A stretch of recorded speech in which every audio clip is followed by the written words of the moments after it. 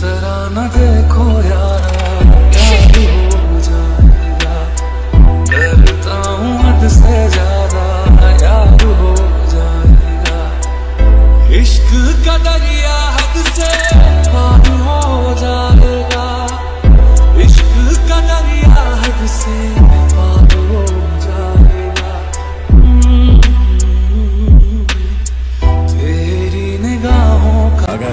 में कोई जानवर दो कदम पीछे ले तो समझो शेर आया है।